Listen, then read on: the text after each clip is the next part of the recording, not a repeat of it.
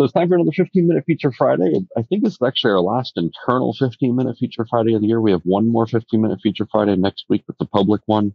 Um, and you know what? I don't have a clue what the topic is, so I can't even tell you what that is. Um, but we're reaching the end of the year. Um, so this week, I'm going to be covering what I'm dubbing advanced smart client options. And that's basically just going to be a mishmash of different things around the smart client that I think we haven't talked about before, at least maybe not in detail. Uh, I'm sure over the last, uh, 97 or so 15 minute feature Fridays, we've covered different pieces of this. Um, so I don't have a lot of structure here. Uh, in fact, this is the only slide I actually have for uh, for the entire 50 minute feature Friday. So with that, I'm just going to uh, kind of bring over the smart client and we're just going to play around a little bit. Um, definitely, if you have any questions about anything, I'll take them. But it's actually kind of funny because we can watch them mow the lawn too. Um, so uh, I just wanted to start off with a, a couple different things. And the first thing I was going to start off with is not even the options at all, but some of the different things we can do with uh, some of these side panes that I don't think a lot of us touch very often. Um, and then also some of the other different features we can use inside of setup mode. Uh, so the first one I wanted to kind of show you was the audio tab. Um, the audio tab allows us to control what we're listening to or what we're talking to um, when we're when we have a current selected camera. So this could be useful if we do have a microphone or do have a speaker that is somewhat related to a camera, um, but isn't necessarily uh, assigned to that camera inside the management client. So this will allow us to select for multiple microphones. So if we wanted to, um, you know, hear from one of the other rooms uh, inside of my house, um, we could do that uh, by clicking on my driveway camera. So this allows us to associate a camera, I'm sorry, associate a microphone to a camera that isn't necessarily um, attached to that camera. So that can be useful if you have multiple microphones that you need to listen to, uh, hear different perspectives, and especially if those microphones aren't on the screen you're currently on. And the same thing applies for the speakers as well. Um, so if you want to talk to a speaker and you have multiple different angles you want to be able to talk to, uh, maybe different speakers in different locations, you can select different speakers and then actually click the talk button uh, to be able to talk to that. So with my uh, hallway camera, I can actually go ahead and uh, hit the uh, hit the talk button and actually talk out to that. Also, this mute button is very useful as well. As you can, I don't know if you guys can hear it, but I, I get a ton of feedback from it. So uh, that was the first thing I wanted to show off. Uh, the second thing is I want to spend a little bit of time in setup mode. And this is something uh, that kind of goes back to my early training days uh, when I was first training before we changed over to the new training program. Um, I used to spend quite a bit of time kind of talking about the property section and specifically property section on a camera itself. Uh, there's a lot of stuff here. A lot of it's actually really useful, and um, some of it we discourage the use of. But I did want to kind of go over and, and kind of show you. Uh, the first one's your your live stream selection, and that's something you can always select uh, on on demand. But if uh, if you do have a camera that has multiple live streams coming from it, so if you're uh, on expert or corporate, um, and you wanted to have, uh, let's say, a low quality and a high quality, or a high frame rate and a low frame rate stream, you can choose which one of those streams is going to be the default stream, even if it's not necessarily the default stream selected in the management client. So this kind of allows us to uh, allows us to override the default settings that have been defined inside the management client. Um,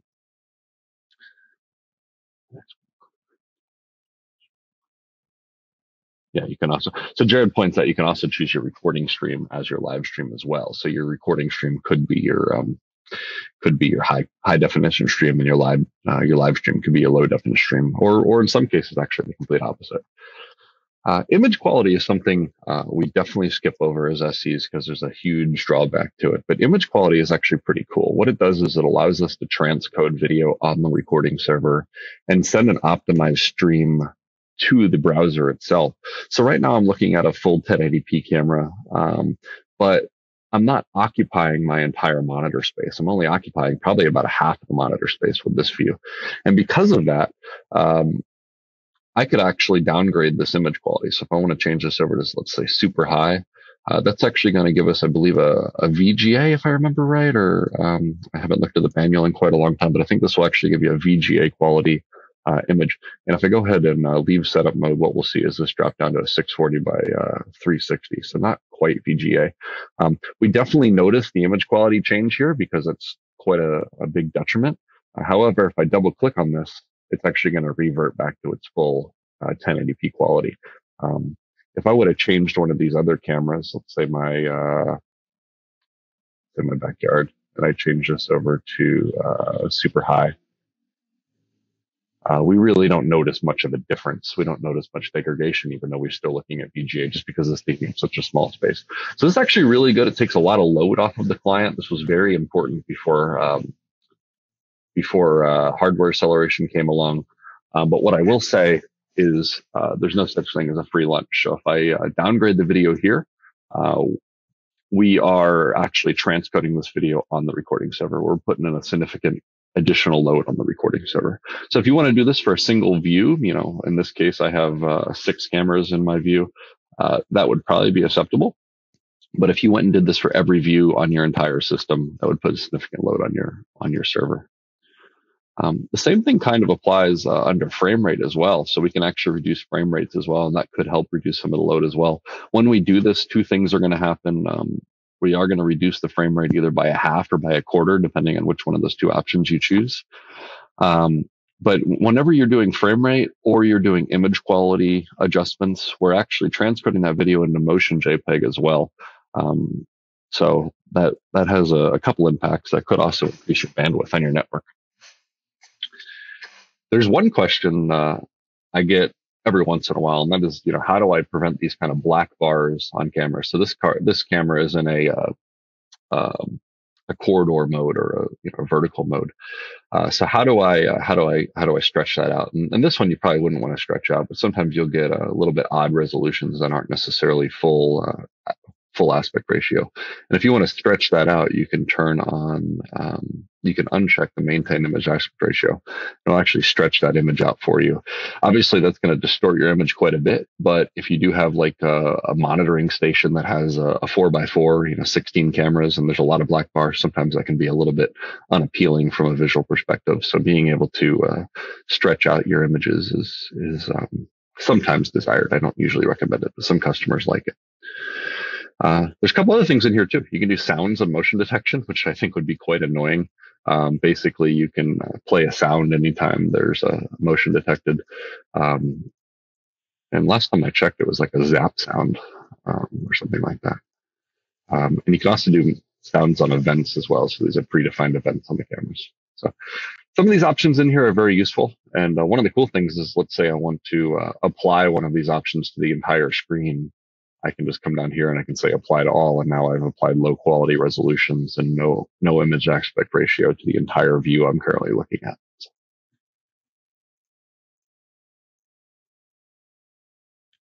So that was kind of the, the front end stuff I wanted to, to show off. Uh, the other portion of this that I wanted to cover um, was really I wanted to spend some time inside of the settings. Um, so obviously up here in the top right hand corner, we have a couple options. We can toggle the theme between a light and a dark theme, which I think most of us know. Uh, we can also uh, toggle between a simple and an advanced mode. So right now I'm looking at the advanced mode where I see all of my different options that my uh, smart client profile defines. Uh, but I can also choose a, a simplified mode if I want to remove a lot of those tabs, remove a lot of the timeline options and playback. Um, just basically a less cluttered screen. This is definitely more appropriate for, uh, let's say, just a, a, basic operator that needs to watch live video and maybe do very basic playback of video. Um, and we can actually force this through smart client profiles. And that's one thing I definitely recommend doing is um, anytime we have like an operator role, uh, definitely just give them the simplified view if, if, if it, if the situation merits it. Um, just last, actually, just earlier this week, I actually had it come up twice. Uh, somebody said this this client looks complicated, and I basically just turned on simplified mode and, and said, "Hey, well, it doesn't have to be complicated. We have the options to come in here and, and turn different elements on and off." And we've talked about that in past uh, past 15 minute feature Fridays uh, using smart client profiles.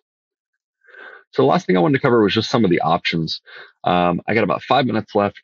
Uh, there's a lot of options in here, and we've seen these in the smart client profiles before. Um, we can we can override these settings using a smart client profile, and I definitely recommend any kind of good, uh, any kind of uh, full full service reseller or full service integrator actually come in here and, and, and think about how the the system's going to be used and definitely use smart client profiles to modify most, if not all, of these different options. Uh, but things uh, things as simple as as the way the screen maximizes, and that's actually kind of a big deal. So if we look right now, uh, when I maximize the screen, it, it, works as a normal window like any other windows would. Uh, but I can actually force this to do a, um,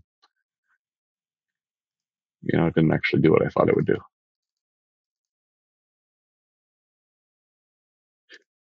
Usually it maximizes to actual full screen. You, you have to unmaximize and then maximize it, Stephen. If okay. you're changing that application maximization setting.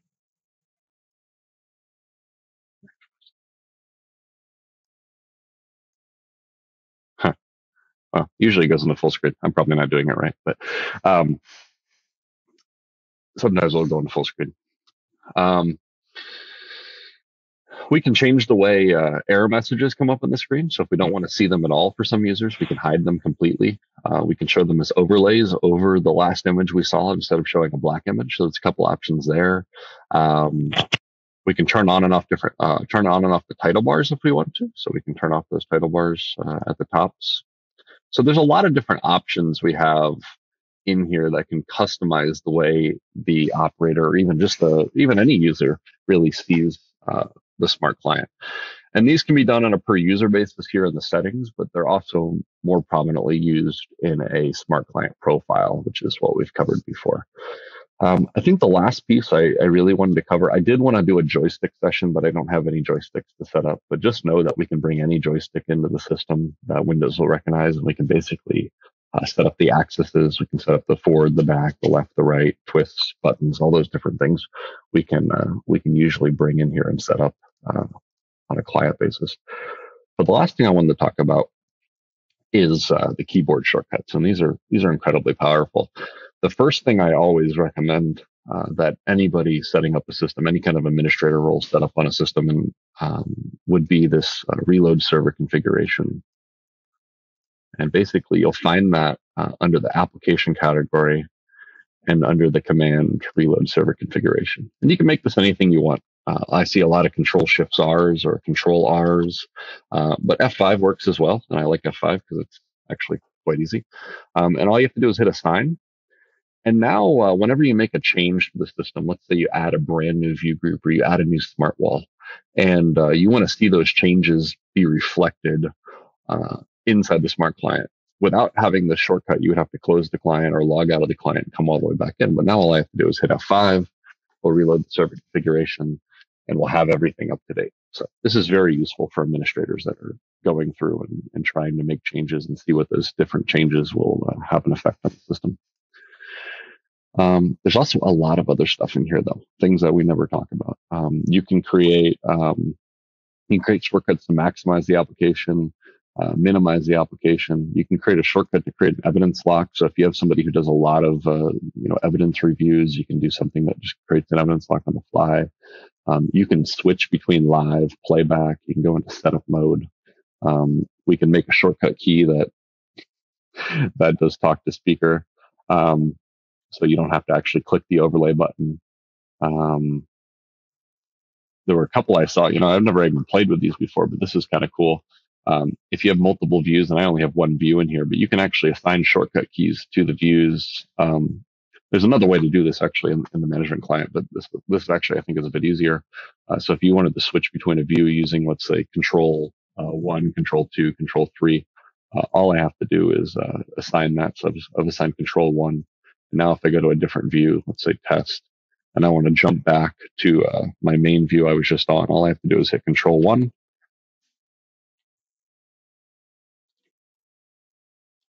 maybe not. This actually worked uh, 20 minutes ago. Keyboard shortcuts. Control one. Oh, it's jumping the smart wall. I'm done. I want to jump to the smart wall, I can jump uh, hitting control one. So I actually set up the wrong view. Um, but that's actually pretty cool. Um, that's an easier way, I think, to set up uh, view shortcuts than, than uh, the kind of key commands you can do in the management client. So, um, and there's a lot of other stuff here in the smart client. I actually didn't expect to, I didn't expect this to go this quickly. Um, there's a lot of other stuff in here, um, especially into the keyboard section. Uh, one last thing I did want to show was, and I think all of us know about the video diagnostic overlays, but that's under the advanced section. Uh, there's three levels for these. Level one is a, a basic level that's going to show us our frame rate, our codec, and our resolution. Level two is actually what I leave on all the time. And uh, that is going to show us a little more details.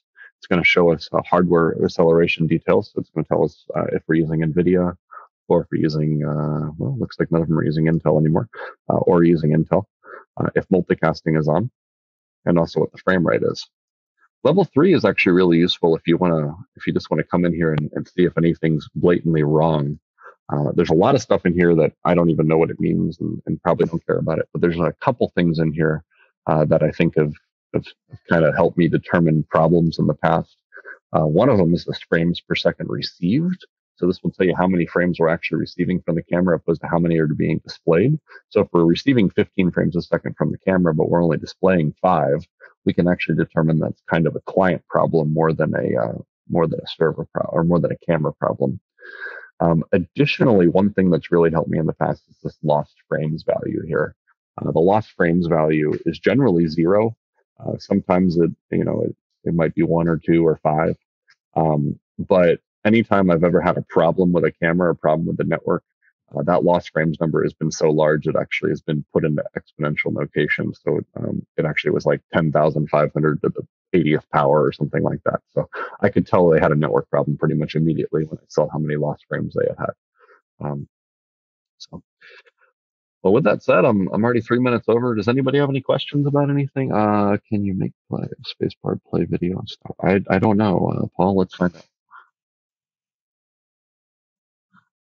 I just wanted to add in, you, you touched on earlier with the full frame rate versus reduced frame rate and the full resolution versus reduced.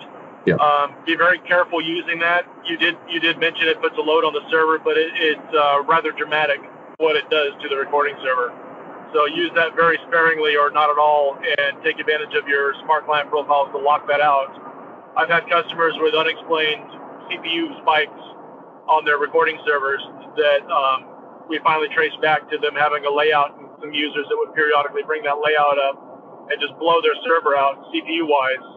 But it only does it when they're viewing those layouts that take advantage of that feature. So you can prevent people from getting themselves in trouble with the smart client profiles and lock that functionality out. Yeah. Definitely agree.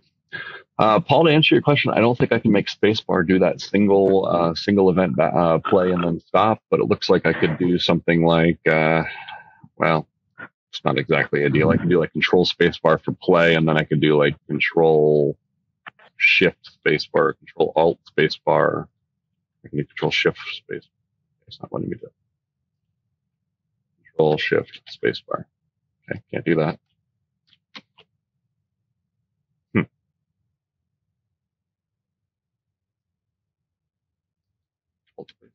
Alt space works.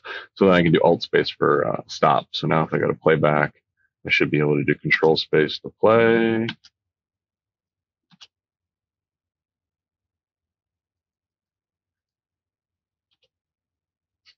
All right. Well, spacebar, apparently control spacebar is not a good option. But in theory, yes, you could do something similar to that, Paul, just maybe not with the spacebar.